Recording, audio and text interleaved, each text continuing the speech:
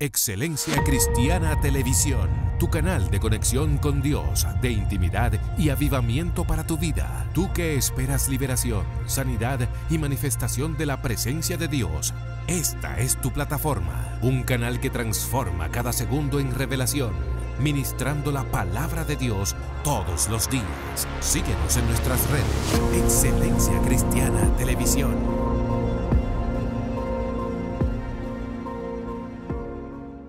Dios te bendiga, Dios te guarde, Dios bendiga tu audiencia, Excelencia Cristiana Televisión. Señores, Dios le bendiga de manera especial. Ustedes que están en otro lugar, en otros países, no sabemos la hora, pero sí sabemos que Dios está contigo, porque Dios es maravilloso y su misericordia está sobre cada uno de nosotros. Yo estoy contenta, yo estoy feliz, también yo sé que tú lo estás, porque Dios nos ha dado una oportunidad más de ver el amanecer, ver un nuevo día, de ver el sol salir. Así que tu hermana y amiga Yesenia Castillo de está contigo. Y estoy aquí con el pastor que siempre tiene una palabra que sale de lo alto, que sale de Dios, para enseñarle a cada uno de ustedes y a mí también. A mí me encanta escucharlo. Pastor, Dios bendiga.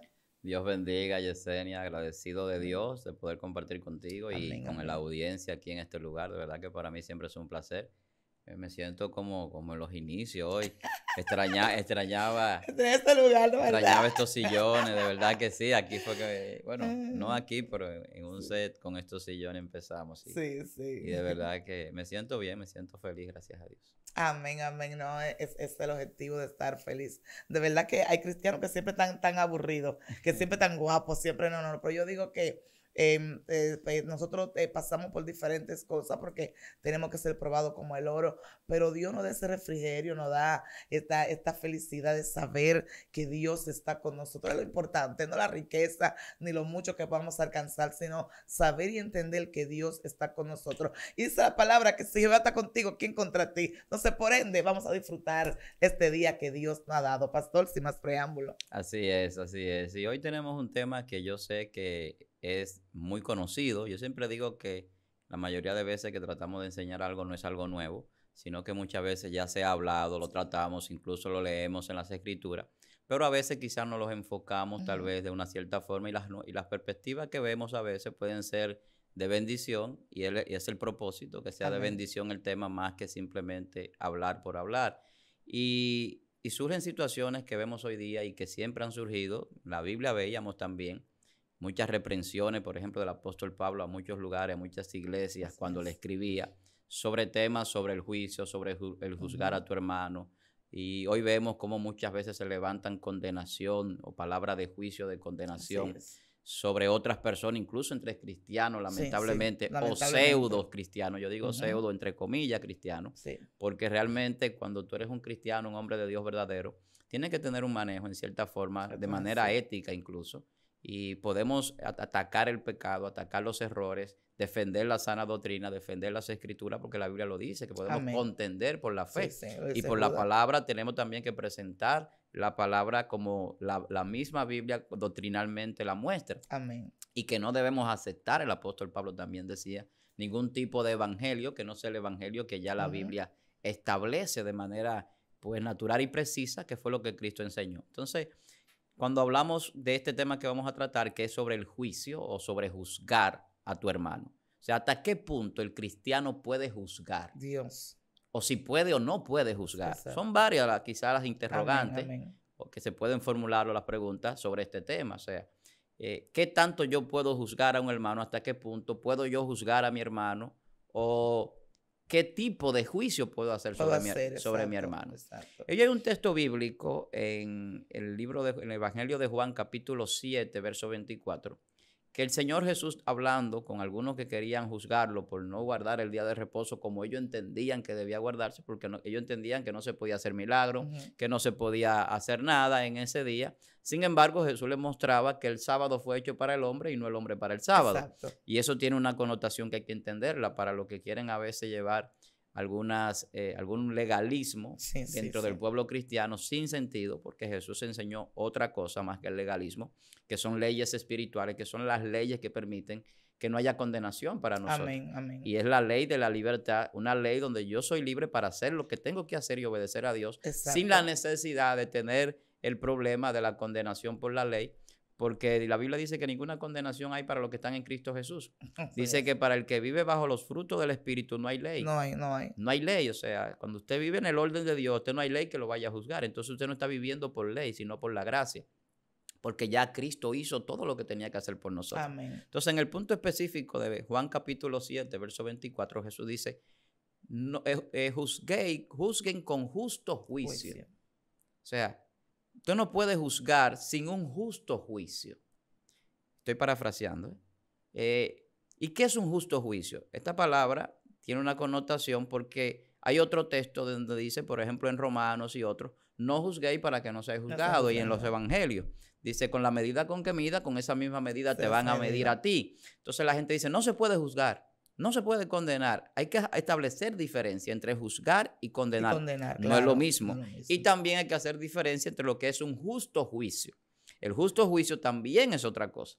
Entonces, en Romanos capítulo 14, la Biblia habla de, de no juzgar el siervo ajeno y de sobrellevar a los débiles en la fe. Amén. El Señor, eh, el apóstol hablando a través de, de la inspiración divina, pues establece esto porque habían personas que quieren juzgar y hacerse jueces, que es otra cosa también. Sí. Y la Biblia dice que tenemos que ser hacedores de la palabra y no simple y no jueces de Y no ella, jueces. porque el juez justo es Jehová Dios. Jehová, sí es. Entonces, cuando entendemos ese contexto así de manera generalizada, aunque vayamos a entrar en detalle ahora, nosotros vamos a ver varias perspectivas sobre juicio, más allá de lo que se nos ha enseñado, de una manera diferente muchas veces a lo que creemos, y vamos a entender algunas cosas. Amén. Entonces, el justo juicio, partiendo de ese punto, es, por ejemplo, que yo tengo que apegarme a la verdad para establecer un juicio de valor sobre algo. Exacto. O sea, si yo veo a alguien, por ejemplo, eh, tomando algo que no es suyo, robando, yo no puedo mentir porque yo no puedo juzgar a mi hermano.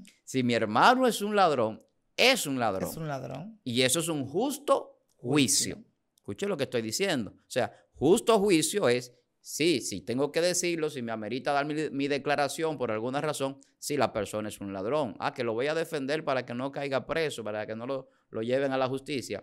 Pero con una mentira entonces dejo de ser cristiano. En ese momento estoy haciendo algo que es incorrecto y que no me corresponde. Entonces, apegarme a la verdad, eso es un justo juicio. Por eso cuando Jesús atacaba a los fariseos, le decía hipócrita, era un justo juicio. Amén. Cuando Pablo le decía, por ejemplo, al mismo Pedro que era un hipócrita, porque quería hacer que judaizaran aquellos que no debían judaizar, porque realmente había un, un llamado de Dios al- a los A gentiles para la salvación que no correspondía con lo mismo de la promesa de los judíos. Era Así es. diferente el proceso de salvación, Sí. aunque al final terminaran siendo un solo pueblo y como dice la Biblia, ya no hay judío ni griego, no hay varón ni hembra, sino que todos somos unos en Dios. Entonces las cosas cambiaron en el orden espiritual, en el sentido de la revelación que trae el Señor Jesucristo y que el apóstol Pablo pues la extiende en las explicaciones y en las directrices que marca para la iglesia. Porque la iglesia es una institución que surge después de Jesús Amén. como nosotros la conocemos como congregación. Antes de eso lo que había era el templo y, el- y los judíos y otras eh, líneas de pensamiento religioso. Entonces, cuando hablamos del justo juicio, tenemos que apegarnos a la verdad. A la verdad, exacto. Mientras esté apegado a la verdad, usted no está cometiendo ningún delito, ni ninguna falta, ni está pecando. Ahora, si usted toma ese justo juicio y lo lleva a un plano del chisme, a un plano de crítica, entonces ahí sí hay un problema. Dios. Porque fuerte. ya usted no está con- eh, tratando de que se levante su hermano ni de ayudarlo a, a que pueda restaurarse. Entonces, por eso es que vemos que la Biblia, por ejemplo, habla de que yo no puedo estar murmurando, que la murmuración, como el caso que vemos, por ejemplo, con María, el hermano de Moisés, que trajo una, una enfermedad por la Por la murmuración al líder, tenemos que entender en qué medida, porque a veces se, se distorsionan los textos para decir, no, no podemos murmurar al líder, no pueden tocar al ungido. Y yo siempre tengo problemas con eso, porque cuando usted quiere acomodar la palabra por sus intereses, para mí eso no es doctrina sana, No, eso es una manipulación y una distorsión total de la palabra. Entonces, la murmuración tiene una connotación, porque el que murmura eh, lo está haciendo a espalda de. Exacto. Ahora, si usted comete una falta y yo como hermano le digo, mire hermano, claro, tengo el alcance y la posibilidad de tener acercamiento a usted, eh, es- eso que usted está diciendo, eso que usted eh, está haciendo no está bien. Por ejemplo, en cuanto a la doctrina, una enseñanza o cualquier cosa, o inmoralidad.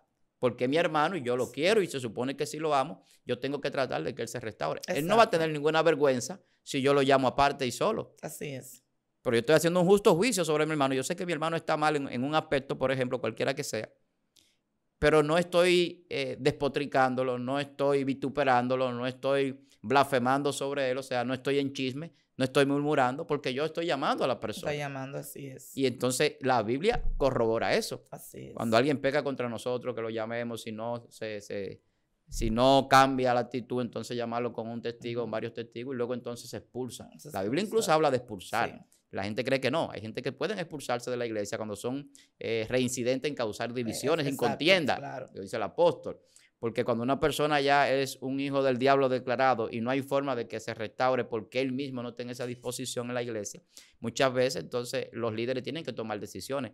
En un tiempo yo no entendía eso y después que fui conociendo la palabra digo, wow, veré que nosotros podemos ser más buenos que Dios. O sea, hay un orden establecido por Dios para todo. Satanás fue expulsado del reino de los cielos con los ángeles. Y, no, y, no, y, y, y hablando de esto, eh, por ahí hablando Pablo que, que dice que entregó a a, ¿cómo le dije? Se me olvidó el primer nombre, a, Emeneo, algo así, y a Alejandro, se lo entregó al diablo. ¿eh? Entonces, eh, eh, muchas veces se, se, escucha fuerte, pero ya cuando alguien es residente en algo, sabe que de una u otra manera va a ser expulsado, va a ser rechazado, porque el mismo Dios que hizo con Saúl. Entonces, muchas veces nosotros eh, leemos la Biblia y, yo he escuchado gente decir, no, pero wow, pero Dios, ¿y cómo Dios va a hacer esto? Y así mismo, como usted decía, nosotros mismos no podemos tener más amor que Dios, porque Dios, siendo el, el, Dios, siendo Dios y sigue siendo Dios por los siglos de los siglos, hace esas cosas y el Señor nos enseña y nos da a entender, nos abre nuestros ojos espirituales para ver algunas cosas y realmente eh, muchas personas no están eh, haciendo justo juicio, porque sabemos, pastor, que hay personas que van a hacer eh, eh, eh, juicio con alguien, pero con el otro no. Ejemplo, sabemos que hay personas que por su por su estatus, por, por, por quizá por el nivel ministerial que tiene, muchas veces cometen cosas y se queda tapadito ahí. Es lamentable del caso. muchas veces los mismos ministros dentro de las iglesias, si alguien quiere levantarse para hablar o decir cualquier cosa que ese hermano hizo algo malo, te, te meten a la oficina, ¿no? Tú sabes que esta persona, ay, pero cuando el que no es nada, el que no tiene un nivel espiritual muy, muy alto, el que quizá no tiene dinero, entonces con este sí, a este sí, hay que decirle, hay que, hay que mocharlo. Entonces ahí no se está haciendo un justo juicio. Porque era como usted decía, eh, cuando yo eh, hablo y digo, bueno, por ejemplo, que usted diga, la hermana Yesenia fue que quitó ese vaso para que la gente pueda entender. La hermana Yesenia fue que quitó ese vaso y si fui yo que tomé el vaso, usted no está hablando mentira. Usted está hablando una realidad. Ahora que usted me eche culpa de algo que yo no hice, eh, o que usted me, quiera condenar por algo que yo no hice, no se está haciendo un justo juicio. Pero estamos viendo en este tiempo que estamos viviendo, en estos últimos tiempos, donde nosotros tenemos que apegarnos más a la verdad y, practicar la justicia de Dios, que es la justicia que Dios quiere. Estamos viendo que hay más injustos dentro de las iglesias y los que están practicando las injusticias son aquellos que están por encima de los otros. Pero el que está abajo, como que lo quieren pisotear. Sí. Y que de manera pública usted no puede hacer ciertos juicios sobre su hermano. Lo que se hace de manera pública es denunciar al pecado. Escuche bien, porque se confunde. Hay gente que no entiende esa parte. O sea, el yo denunciar un apóstata, una persona que está engañando, que está estafando, que está extorsionando a los hermanos, en yo denunciar a alguien que eh, sabemos que está cometiendo de manera deliberada una falta, un pecado, sin ni siquiera mencionar el nombre, que muchas veces eso es antiético y no es correcto, porque la persona puede restaurarse. Ahora, hay ocasiones donde ya sí a veces hasta con el nombre se puede establecer una denuncia dependiendo, pero eso hay que tener cuidado con tener cuidado. Pero hay que estar entre el justo juicio también. Pero pasa mucho, muchas veces entre hermanos eh, de iglesia o ahora mismo en los medios, por ejemplo. Yo comentaba antes de entrar aquí al set ese problema que ha habido aquí en República Dominicana, por ejemplo. Unos pseudo pastores, pseudo eh, cristianos, eh, atacando y, de, y, y, no solamente ya es un juicio, sino que son cosas que entran en el chisme y, en cosas como que que no tienen ningún sentido de traer la colación a un medio de comunicación donde tú tienes cientos de miles de personas que te están viendo, tanto creyentes como no creyentes. Entonces, Exacto. cuando tú dilucidas cosas que ni siquiera son verdad y que ni siquiera son necesarias y que no edifican en nada, tu pastorado para mí es entredicho. Así tu es. liderazgo cristiano entre- está entredicho para, para mí. mí también, yo lo creo O sea, así. ¿cómo es que yo con, con- con- con esa liberalidad de, de palabra voy a, a venir a decir que si los brasieles que usa mi hermana tienen varilla, que si mi hermana eh, tiene tal o cual cosa, de tal o cual forma de manera íntima? O sea, entrar en un dilema como ese, como yo vi en estos días en las redes, que me, indigné. No, yo estoy Y- indignada Y yo ni siquiera soy ni, cercano, bueno, conozco a algunas de esas personas porque uno está en los medios, en las redes. Exacto. me he topado con ellos en algunos lugares que, que he ido a- invitado algunas veces, pero no tengo esa afinidad de la palabra, o sea, como tenemos nosotros que aquí tratamos y ya tenemos esa, confianza un poquito. Entonces, yo me digné por el Evangelio, porque cuando yo veo cosas de tal manera ya que exceden, porque a veces vemos que hay mucha gente buscando un view, buscando un like y hacen cualquier espectáculo, no, a veces algo jocoso y tú dices, bueno, está bien, eh, lo dejamos pasar, pero ya con una manera ya así tan directa hacia una hermana, hacia una mujer Mencionando nombre y todo. Exacto. no. Entonces, se ve que tienen un pleito que ni la gente del mundo, o sea, ni siquiera los del mundo, tú lo ves en ese enfrentamiento. Tú ves las redes y tú ves la farándula, y en la farándula tú ves que los artistas y demás tienen una confrontación, se acusan de aquello y otro, y después tú lo ves grabando. Sí. Y, tienen, y, y- y hacen eso dinero en su negocio. Es parte de su negocio, Parte de su la negocio. controversia. Pero el cristiano no tiene un negocio de controversia. Es que no. El cristiano no anda buscando eh, eh, una, eh, una remuneración en hacer cosas que a Dios no le agradan. Entonces, tenemos que entender las cosas en su justa medida.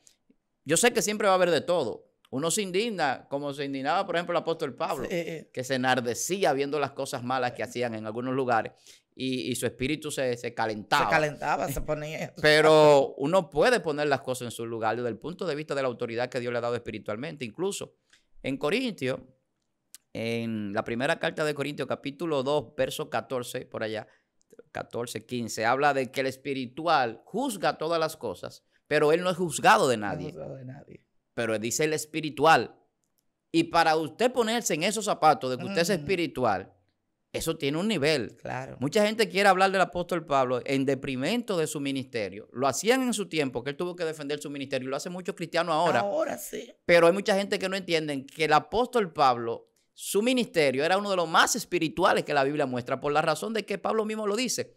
Mi evangelio, el evangelio que yo tengo, no lo aprendí de hombre, Mm, mm. sino que fue el mismo Cristo El que se me reveló. wow, Oye, wow. Pero yo estoy sintiendo algo aquí ahora. No, no, yo sentí- A ver si se me entra una lengua. Wow. Oye, terrible. Entonces, cuando tú lees el apóstol Pablo, que habla mucho de esto del juicio también y de la acusación, bueno, el texto que estoy citando Sí. es de él, de Corintios. Entonces, tú tienes que entender que el espiritual es una persona que está en un justo juicio porque se deja dirigir por Se el deja espíritu. dirigir. Una persona que se deja dirigir por el espíritu, nunca usted lo va a ver haciendo cosas como esa que yo estoy diciendo ahora mismo, indignante.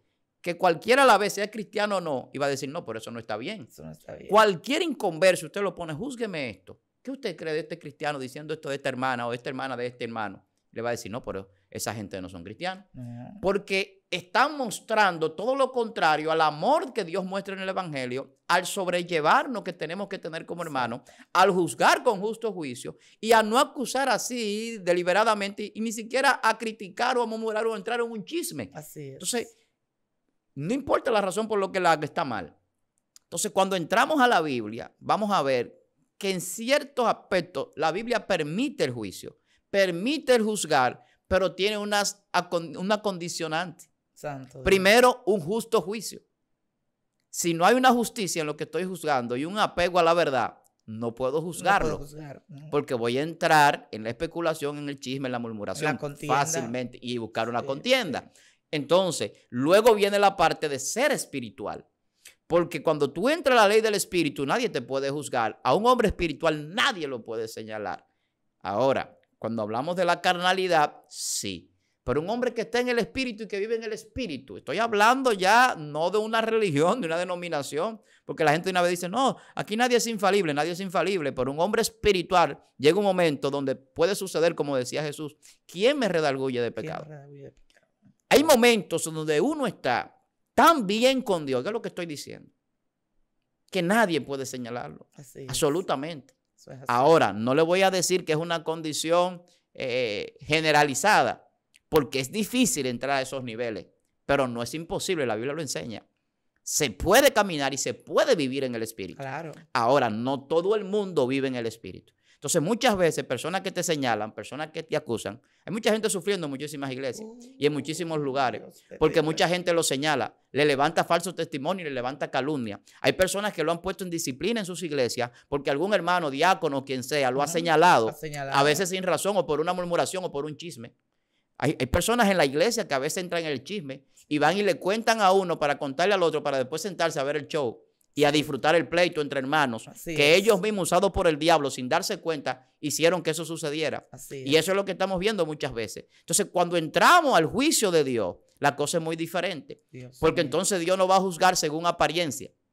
Escuchen bien, porque hay gente a veces que dice, no, ese es santo, ese no es santo por la forma de Por vestir, forma de o por la forma de hablar o el lugar donde se congrega, Sí. y comienzan a hacer un juicio de valor, pero no justo. No es justo. Eh, Es por eso, pastor, que a, a mí, a mí me encanta eh, eh, eh, esa lectura donde, donde el Señor manda a, a- a ungir a uno de los hijos de, de, de Isaí. Y estamos viendo que lo que pasó en, en aquel tiempo también está pasando en este tiempo de ahora. Porque la gente eh, lo, lo que están eh, es juzgando por lo que ven sus ojos carnales. Por eso yo digo, y, y- y siempre yo he hablado eso, yo digo, en los lugares que a mí me invitan a predicar, ya lo que mis ojos están viendo, yo no tengo que hablarlo. Ahora, yo voy, yo voy a tratar de ponerme en comunión con Dios para que Dios me revele las cosas espirituales. Porque de qué sirve que yo hablo ya de las cosas que mis ojos carnales están viendo, que veo una, una persona con un pantalón, ya yo estoy viendo que tiene un pantalón. Entonces, es. ¿para qué yo voy a hablar del pantalón? Ahora, yo te voy a dar la palabra espiritual y esa palabra es que va a llegar a tu corazón Claro. y el Espíritu Santo es que va a tratar contigo,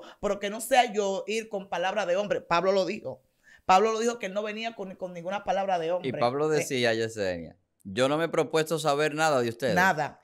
O sea, cuando él iba a ministrar y iba a reprender, era porque el Espíritu de Dios lo guiaba hacia el punto que tenía que atacar y que tenía que, que restaurar en, en los hermanos. Así es. No se proponía de que saber sobre cosas personales para después ir a señalar. Así. Y muchas veces hay gente que va a ministrar al lugar y muchas veces investiga o le dicen lo que tiene que decir o lo que está pasando. Y son ministraciones falsas o van a, a ministrar conforme a lo que están viendo en la gente de manera es. física. Entonces, lo- el, el espiritual ve más allá de ese asunto. O te buscan en, el Facebook. Y te buscan, ah, no, porque que, eh, Víctor Almanzar o Víctor Armani y esto. Y cuando van, no, porque mira, hay un hombre aquí que se pero ya usted lo vio en el Claro, Facebook. claro. Eh, eh, es igual que hay personas que van y, y van a ministrar y, y dicen, no, porque aquí el Señor me revela que hay una mujer que tiene problemas con su esposo. Pero ¿cuál mujer no tiene problemas con su esposo? ¿Cuál matrimonio no tiene problemas? Ya no me venga con esto, ya tienen a uno hasta aquí. Entonces estamos viendo que muchas veces hay cosas que se están convirtiendo en chisme, así como usted decía. Porque, ¿qué tiene que ver un ministro? Que, una mujer se ponga unos brasiles con varilla. La varilla también es pecado. Yo me acuerdo que alguien me dijo, y yo me echo a reír y me dice de que, no, porque eh, el pastor no permite que, que nos pongamos faja. Eh, y yo digo, pero ¿y qué es lo que tiene que ver un pastor que sí, que sí, su miembro se pone una faja? ¿Qué el pastor va a buscar ahí? Es que son cosas personales.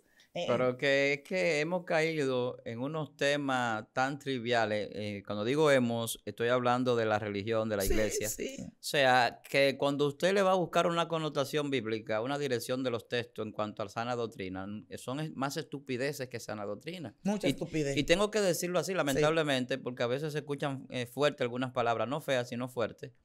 Pero lamentablemente, cuando usted le dice a una hermana que no puede usar una faja, quizá ella tratando de, de verse mejor. de qué sé porque- yo, de, de cualquier cosa, porque a veces hasta por salud.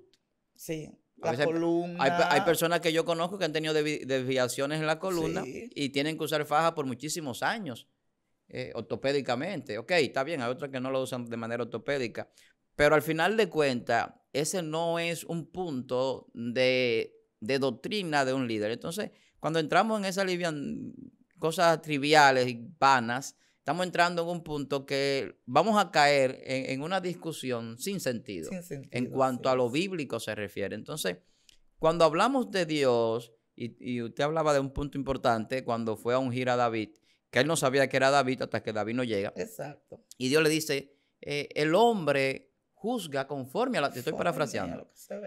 Pero Dios no juzga como juzga el hombre. El hombre mira las, apari- las apariencias, pero yo miro el El corazón.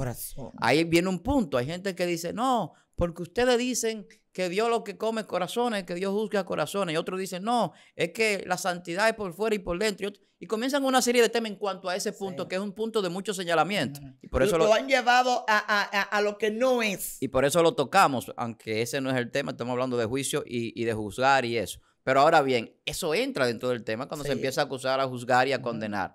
Entonces, la condenación es otro punto dentro del juicio que la gente hace. La gente no solamente juzga, sino que ya determina un, un veredicto y es. ahí entra en- como si fuese un juez. Así Cuando es. yo digo, no, ese no es santo por la forma en que se viste. Pero hermano, ¿qué parámetro bíblico y doctrinal tú estás tomando? No, porque yo me he visto de esta manera y los que son santos son los que se visten así. Entonces usted ve el problema sectario que tenemos hoy en día, que la mayoría de las sectas tienen una- un código de vestimenta. Sí. Así como tienen un líder, que ese es el líder. Y, y- y- y lo ponen a veces hasta por encima de todo el mundo y de Jesús y de todo el De mundo. todo. Lo que él dice, lo que se hace, independientemente de que esté bien o mal. Entonces, hay cosas que hay que entrar a lo espiritual para entenderlo y para dejarse dirigir por Así Dios. es. Entonces Dios, cuando Dios dice esto de David, que Dios conocía su corazón, es porque el hombre tiene una conceptualización en su mente de parámetros, como lo tiene el hombre hasta cuando se va a casar. El hombre dice, yo quiero una mujer que sea así, Así, a- así, así, así, así. y, el- y a veces la mujer también.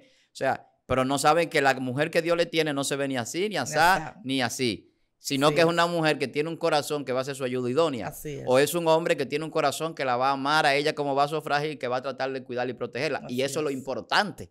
Entonces nosotros vemos la apariencia, tiene que ser bonita, Sí. tiene que verse de esta manera, el color de, de piel de esta. Entonces es. empezamos a tener un juicio de valor sobre algo que queremos, que al final de cuentas no es lo que necesitamos. Pero también pasa con la vestimenta en la iglesia y con otros puntos doctrinales. Empezamos a acusar y a señalar al otro de otra religión. Y empezamos con un juicio y empezamos con una condenación sobre mi hermano. Entonces ahí es donde la Biblia dice, quítate la viga de tu ojo antes de quitar la paja de La tu paja hermano. de tu hermano.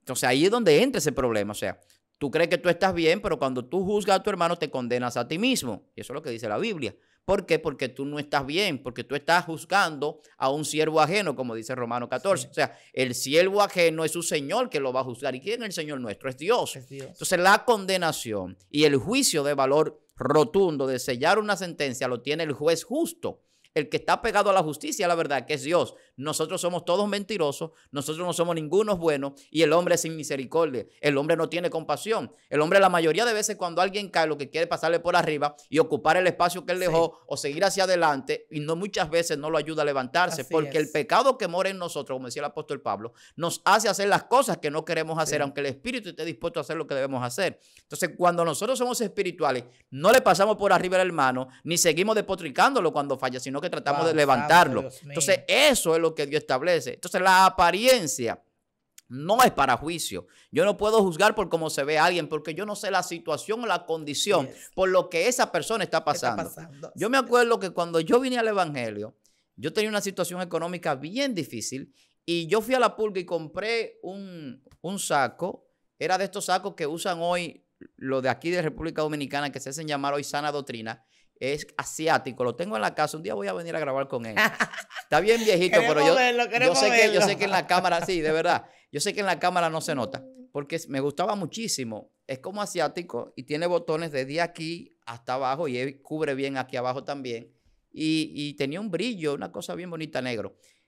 Y yo no tenía dinero para comprar un traje, una chaqueta. Fui a la pulga, di algo por eso, ni me acuerdo cuánto fue. Y con eso yo predicaba, porque cuando yo empecé a- en el camino, yo todavía no estaba tan definido ministerialmente. Yo predicaba muchísimo, muchísimas iglesias me invitaban. Y no era evangelista, podría decir, porque siempre mis mensajes han sido muy educativos. Siempre ha sido como alineado a a, los estudios. a- a la- parte de maestro que Dios me ha dado.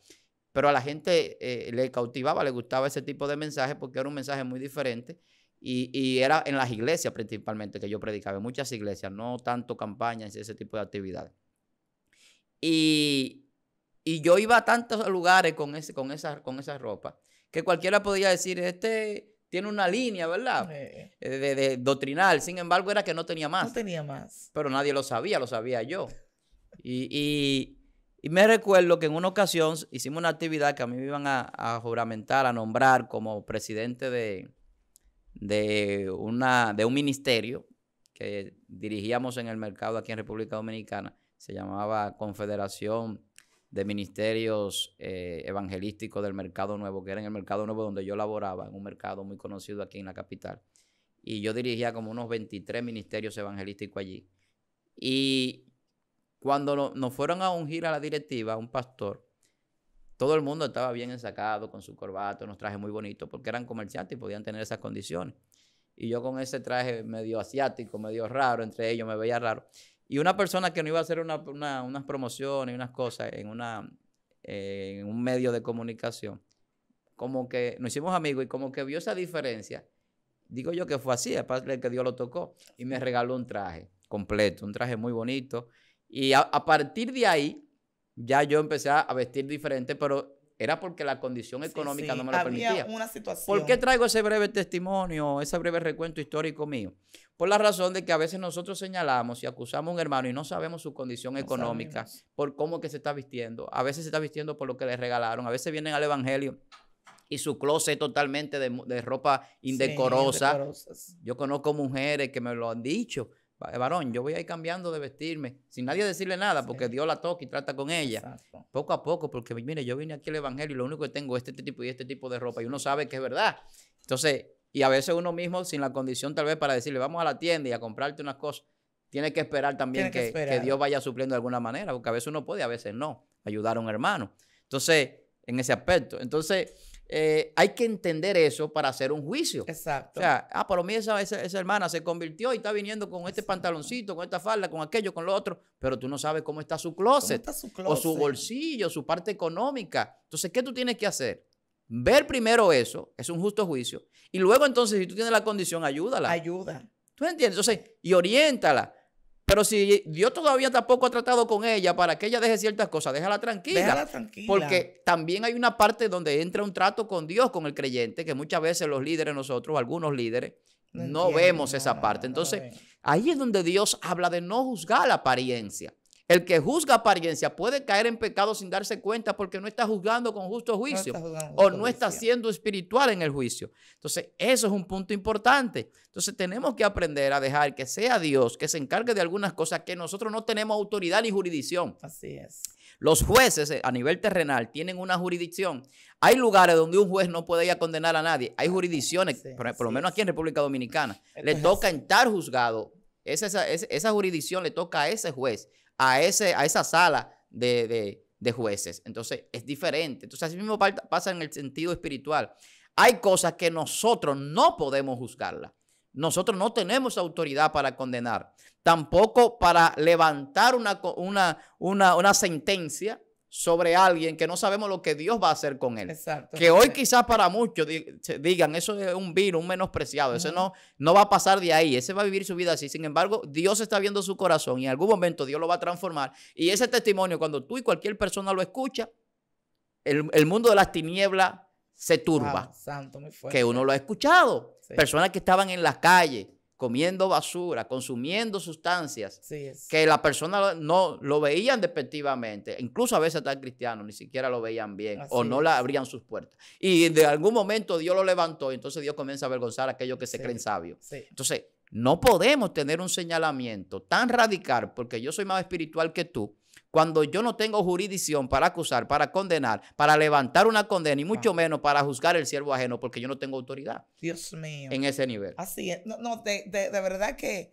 que eh, eh, estas palabras, wow, son palabras que, eh, digamos, son fuertes, porque hay personas que, que siempre quieren hasta juzgar la palabra que, que, que alguien eh, hable, que alguien diga, pero ciertamente se está hablando palabras reales y, en eso también de, la vestimenta, muchas veces vemos que se hace mucho, mucho prejuicio con eso y se habla muchas cosas. Yo me acuerdo que cuando vine, vine al Evangelio, al camino de Dios, es así como te decía, uno tenía su ropa mundana, sus pantalones bien ajustados y cosas, y ya de uno que eh, pues vamos a hacer un cambio, porque ahora yo no estaba, ahora estoy. Entonces, eso también tiene su, su, ¿cómo se, diría? Su proceso. Porque muchas veces uno viene y uno no tiene a veces el dinero para cambiar el closet de una vez. Yo me acuerdo que yo me iba con, mis pantalones. Llegó un momento, pastor, que fui a una media vigilia, me acuerdo como ahora, y, y me puse un pantalón de eso, no sé si usted eh, eh, llegó a escucharlo, que, que le decían Salomé. Esos pantalones que hacían el cuerpo a la mujer. Y yo ese día llego a esa iglesia, cuando llego, otras esas mujeres tan bonitas con su falda, me sentí como tan, tan afligida que de- decidí, digo yo, no, no fue de mí misma, tiene que ser el mismo Señor que trató conmigo. Y, y recogí todos los pantalones, pero no tenía falda, no tenía nada. Pastor, pero déjame decirle, bendito sea el Señor, que mi esposo me dice, mira, yo te voy a dar, ¿para qué? Porque cuando nosotros venimos al, al- al- camino, al Evangelio, fuimos bien procesados con, por el dinero. ¿Sabe qué? Yo digo que fue el mismo Dios, porque muchas veces Dios tiene que enseñarnos. Y fuimos bien procesados. Y me acuerdo que Él me da y voy a comprarme dos farditas. Dos farditas, la más baratica que pude encontrar porque no había dinero. Y yo estaba como, como, como los muchachos, ustedes cuando que llega diciembre, que le compran una ropita, se ponen la ropa y están brincando saltando, están contentos porque se, se están, están poniendo ropa nueva, están, están estrenando. Y pastor, déjame decirle que me puse una de las farditas y yo, hoy sábado me voy a poner este y el domingo me pongo este. Y verdad, yo creo que fue un domingo, voy a, a- a un retiro. Y cuando yo llegué, las faldas no, eran, no, me- tapaba mucho, pero no era muy larga. Y yo siempre, desde pequeña, yo siempre soy una persona que, que tengo mi- muchas piernas y eso. Y cuando me pongo la faldita, muy contenta, me encontré muy linda con mi faldita.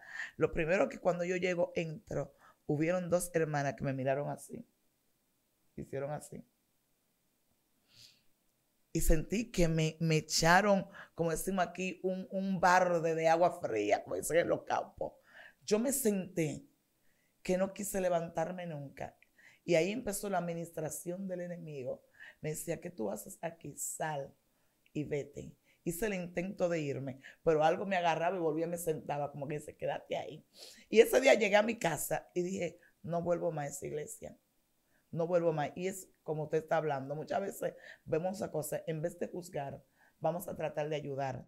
Pero la gente simplemente está mirando lo que sus ojos físicos le están mostrando, pero no van al secreto a preguntarle, Señor, eh, mi hermana, ¿qué está pasando? Eh, y que el Señor pueda tratar contigo y tú puedas ayudar. Y hay personas, a un Dios, eh, diciéndole la cosa y enseñándole, mostrándole cómo es la cosa, muchas veces se endurece su corazón y no, y no ayudan. Porque la gente últimamente en lo que están es murmurar, criticar y hacer juicio que a veces no le toca ni siquiera a ellos hacerlo.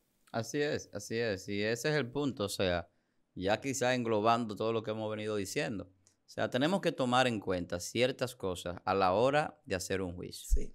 O de juzgar, mejor dicho, es la palabra. Entonces, ¿se puede juzgar? Bueno, la Biblia dice cómo. Con justo Con juicio. justo juicio, dice Jesús. Lo citamos ahí, Juan 7, 24. Eh, el espiritual juzga todas las cosas, dice el apóstol Pablo en Corintios capítulo 2, verso 14.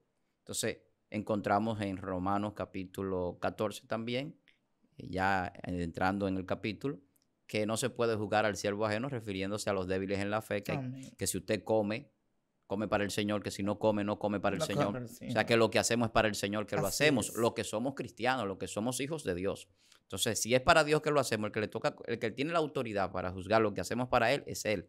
Ahora, nosotros tenemos que apegarnos en cuanto a lo bíblico se refiere, cuanto a la sana doctrina para predicar, para enseñar, para dirigir a un pueblo, pero en cuanto a juicio de valor sobre una ropa, sobre una forma de comportarse como cristiano, también la Biblia enseña que el pudor, que la modestia, que una serie de cosas, o sea, que no podemos hablar vanamente, que no podemos tomar el nombre de Dios en vano, que Dios va a juzgar toda palabra ociosa que hablemos, o sea, que no podemos estar juntándonos con, con el incrédulo, hacer un yugo desigual para criticar, para murmurar, para chismear. Eso lo dice la Biblia. Amén. Y está prohibido. Exacto. Ahora, que usted lo haga, ese es su problema. Y usted tiene que arreglarse con Dios. Ahora, la Biblia nos enseña cómo conducirnos en la casa del Señor, en el trabajo, en nuestra casa de familiar, en todo lugar. Así es. Cómo se comporta un hombre de Dios, cómo se comporta una mujer de Dios. Y eso evita que otro te esté señalando. Y evita que otro peque también. Amén, amén. Y hay cosas es. que nosotros hacemos, escuche bien, que no son pecados, pero que pueden convertirse en un momento en un escollo de, de perdición o de tropiezo para alguien. Amén. Que la Biblia misma habla de eso también. No podemos ser ocasión de caer para nuestro hermano. Entonces, tenemos que tener cuidado con una serie de cosas, porque hay personas débiles en la fe también. Y, y a veces nuevos creyentes que están todavía como niños espirituales. Es. Entonces yo tengo que tener cuidado. Porque puedo hacerle mal a esa persona y alejarlo de- del camino y le voy a tener que dar cuenta a Dios. Ah, Si una palabra, un juicio que yo levante, una falsa, un falso juicio infundado, una serie de cosas, pueden traer una situación a un creyente, a un débil en la fe, a un niño en la fe, a una persona que está buscando de Dios o a otro que todavía no se han acercado, que los retiene, yo voy a tener que tener cuidado. Esos son los que van a decir allá arriba. En tu nombre hicimos tal milagro, echamos fuera demonios, san- demonios sanamos enfermos, etcétera.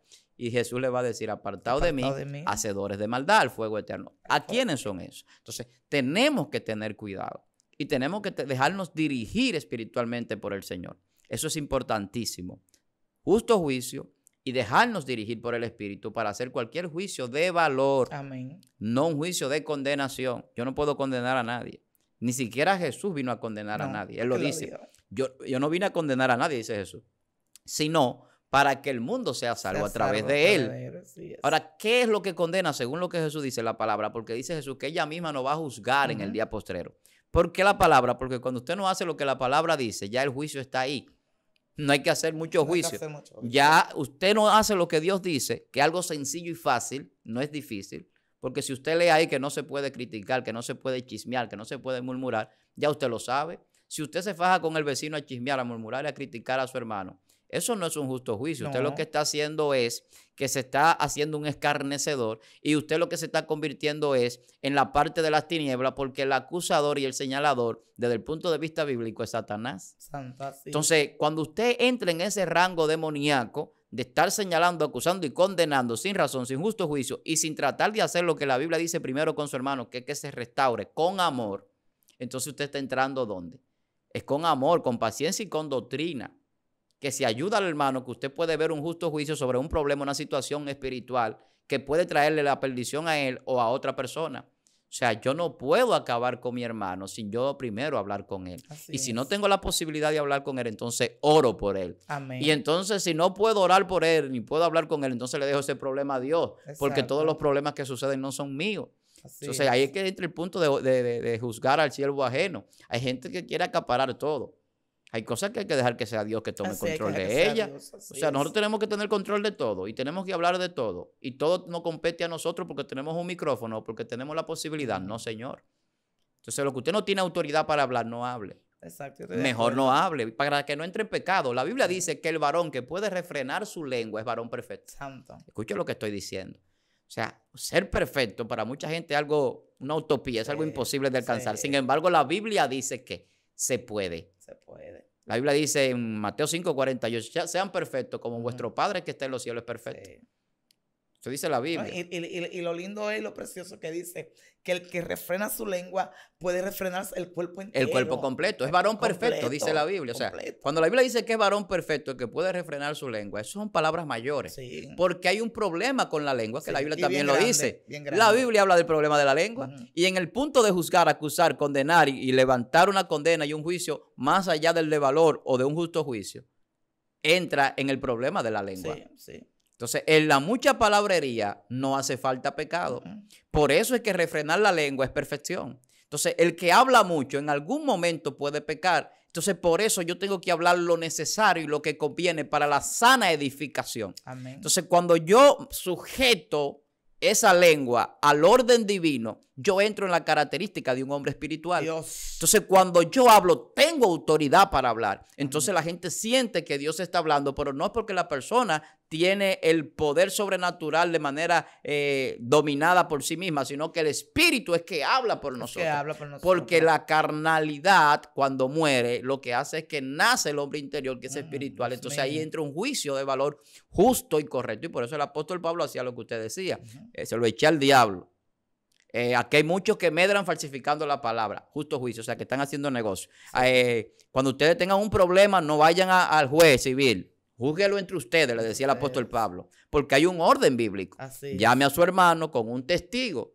El testimonio con uno o dos testigos es válido, decía, dice la Biblia. O sea, tiene que haber la forma de corroborar lo que usted está diciendo para que no cargue en chisme, Exacto. sino que sea algo verdad. Ah, yo lo vi, varón, usted lo vio, sí. Venga, vamos a hablar con él. Vamos a hablar con él. Nosotros lo vimos en esto, varón. Ah, no, fue que pasó tal cosa. Se aclara.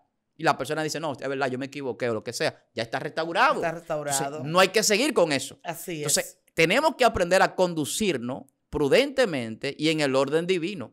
Esto no se trata de que yo soy el líder, yo tengo autoridad para yo poner en disciplina a fulano porque está cometiendo. Vamos a ver si es verdad. Vamos a ver si es verdad. Primero, pero no vamos a, acabarlo públicamente en la iglesia. Exacto. Entonces, tenemos que tener un orden. Lo que tenemos en micrófono, ya concluyendo, yo quiero darle un consejo, porque me indignó eso que vi en estos días aquí. No sé, no quiero mencionar el nombre ni nada, pero hay gente que está, sabe quizás lo que estoy hablando. Sí, sí. Entonces, hermano, si usted Dios le ha dado la potestad, la oportunidad de estar de frente de las cámaras en un canal de televisión, en un canal de YouTube, en la radio, donde sea, en un medio de comunicación con su dispositivo móvil, su teléfono que puede grabar, eso no le da autoridad, aunque se ha de- democratizado la comunicación y la parte de usted poder hablar en público. Eso no le da a usted la autoridad para hablar de todo, ni tampoco para matar a su hermano delante de, de- de- de ese público. En cuanto a cualquier error que cometa, y a veces ni siquiera por un error, sino porque usted lo que tiene es una envidia o quiere buscarse unos views. Exacto. Hermano, su salvación tiene más valor que eso. Trate de que su salvación delante de Dios siempre esté en el nivel de pureza y de santidad que Dios demanda. No en apariencia. No juzgue en apariencia. A veces donde usted, eh, voy a usar un, un lenguaje popular, un dicho de aquí de Dominicana, de cualquier yagua vieja sale tremendo alacrán. El que usted me, una realidad. el que usted menos cree lo sorprende, Sí. no vea tamaño, David era un chiquitico, quizás como yo, o quizás un poco más pequeño que yo, Oh, porque yo soy un hombre muy, yo. de muy baja estatura. Pero de cualquier yagua vieja sale una sorpresa. Sí. Entonces muchos se sorprendieron cuando David le cortó la cabeza a Goliat. Entonces no podemos juzgar por las apariencias. Para las personas, esa persona quizás no sirva para nada, como decía, pero delante de Dios tiene un aprecio. Sí, Entonces, autoestima. si Dios estima y aprecia a alguien, Dios también lo defiende. Así es. Y mejor es, wow, Dios, amado. santo. El, el hombre no tiene misericordia, decía David. Pero cuando cayó el juicio de Dios, que ese ángel destructor bajó, y iban ya casi por 200 mil muertos, que ni una bomba atómica en Hiroshima causó tanto daño. Es. Hubo que detener eso. Entonces, que no te caiga el juicio de Dios. No te caiga el juicio. ¿Sabe por qué? Porque Dios es justo. Y como Dios es justo y nosotros somos todos pecadores, delante de Dios somos inmundicia todo. Es. Nos convertimos en inmundicia delante de Dios cuando queremos presentar una supuesta santidad y apariencia. Entonces, toda nuestra justicia es como trapo de inmundicia, dice la Biblia, es. Delante de Dios. Esto es así. Porque Dios es el único justo y verdadero. Entonces yo tengo que rendirle a ese Dios que le sirvo ese nivel de, de reconocimiento y de pleitesía. En el caso mío, lo que me corresponde es ser un hacedor de la palabra. Amén. Y un hacedor con su testimonio predica y con su testimonio enseña, a veces sin hablar.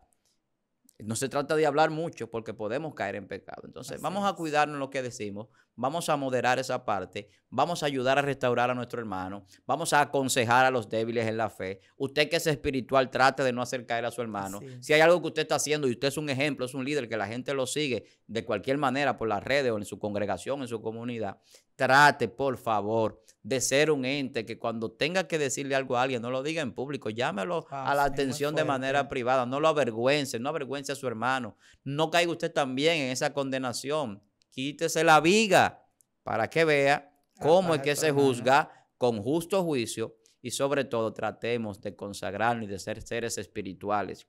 Ya no hay tiempo para vivir en la carne, ya nosotros conocemos a. Cristo, tenemos que nacer de nuevo. Todo el que usted ve en esa afrenta con su hermano no ha nacido No de ha nuevo. nacido de nuevo. Y como no ha nacido de nuevo, se va a quedar aquí y se va a perder, lamentablemente, si no cambia. Tenemos que ser seres espirituales porque a eso es que Dios nos llamó y en ese proceso es que estamos de la creación, en el proceso de vivir una vida espiritual donde tratamos de hacer las cosas no como yo quiero, sino como Dios dice. Así es, Dios mío. Sé que esta palabra le va a llegar a muchas personas y ciertamente sí, ya estamos concluyendo, pero quiero que el pastor eh, eh, eh, le dé, así con esta palabra que él acabó de, de dar este consejo breve, que también eh, le dé un consejo a estos ministros, a estos hombres que son hombres de Dios, pero que muchas veces se dejan enredar tanto por los chismes, por lo que dicen, y hay personas que están sentados en el banco de atrás simplemente porque alguien fue con un chisme y no se está haciendo un justo juicio con esta persona, porque hay cosas que, que son, son chisme y el chisme chisme como quiera, como quiera, como lo quiera ver. Y muchas veces van donde, donde ese ministro, donde ese apóstol y, y esa persona sin indagar, sin preguntar, sin ir a la presencia de Dios, sin indagar si la cosa es así. Entonces agarran a, a, a esta pobre persona, lo ponen ahí atrás y ahí se olvidan y a veces tienen años y años en disciplina sin saber el por qué. Así es, así es. Y es algo con lo que tenemos que batallar y se ha batallado durante mucho Sí. tiempo. Hay personas a veces que lo han puesto en disciplina y no le han dicho ni por qué. ¿Ni por qué? Simplemente que no puedes tomar una oportunidad. Entonces, hay cosas como que eh, son muy ligeras en la toma de decisiones de algunos hermanos. Pero esperemos en Dios que Dios siga obrando y que nos sigamos restaurando.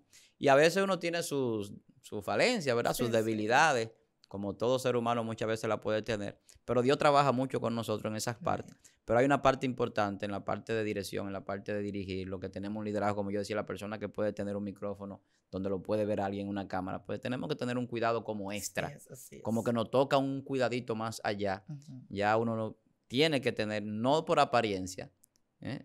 no por apariencia, tiene que ser algo eh, eh, integral.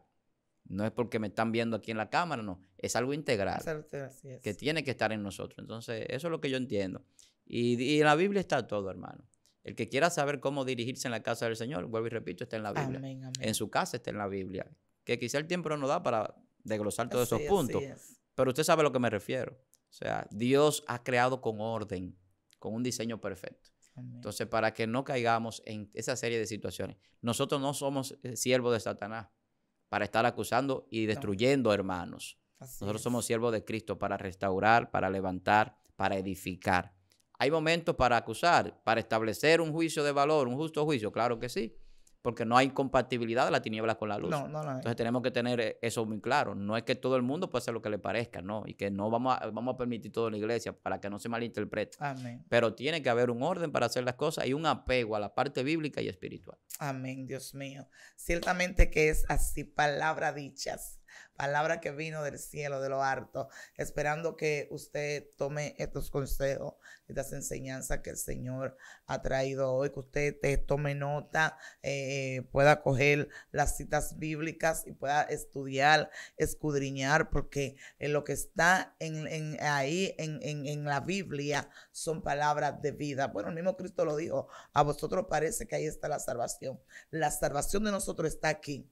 Así que tenemos que escudriñar, tenemos que leer, tenemos que ser hacedor de la palabra, no solamente oidor de ella. Amén. Nada, Dios le bendiga a cada uno de ustedes. De verdad que fue un momento grato, un momento precioso al junto de- del pastor, escuchando esta enseñanza tan hermosa que ha traído hoy. Y sé que va a ser de beneficio para la vida de cada uno de nosotros, sí. Y por eso te pedimos que te suscribas, que le dé me gusta, dale like, pon debajo los comentarios esta palabra que te impactó, eh, eh, porque hay, hay una palabra como específica para cada persona. Yo sé que usted toma la palabra y dice, wow, el Señor me está hablando, bendito sea el Señor. Y sabemos que Dios habla, y cuando Dios habla, Él habló. Así que dale me gusta, dale a la campanita para que te salga, mira, todo, todo, todos los videos, todos los videos que salen de Excelencia Cristiana Televisión, que son contenido para muchas bendición, para bendición para la vida de cada uno de nosotros. Así es que le pido también que puedan compartir esta palabra con los demás. Que Dios te bendiga, Dios te guarde, tu hermana y amiga. Justina Castillo se despide y el pastor. Víctor Almanza, para mí un gran placer compartir con ustedes, esperando pues que sigan siendo edificados a través de lo que hacemos aquí en Excelencia. Amén. Y ciertamente se ha modificado. Hubo, hubo una sierva que me dijo, a mí me encanta escuchar al pastor. De verdad que es de mucha bendición. Dios te bendiga, Dios te guarde. Shalom. Excelencia Cristiana Televisión, tu canal de conexión con Dios, de intimidad y avivamiento para tu vida. Tú que esperas liberación, sanidad y manifestación de la presencia de Dios. Esta es tu plataforma, un canal que transforma cada segundo en revelación, ministrando la palabra de Dios todos los días. Síguenos en nuestras redes. Excelencia Cristiana Televisión.